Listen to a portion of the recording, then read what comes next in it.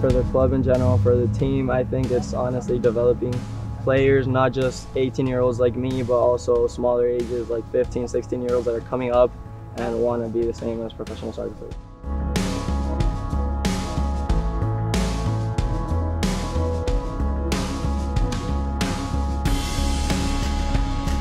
It feels really good to be part of a club where we have a bunch of great owners, like David Beckham being one of them, to look up to him and try to get to where he was in his career and try to look up to that. My expectations for the team are to win to win a lot of games and just to develop players as we go and just keep moving people up.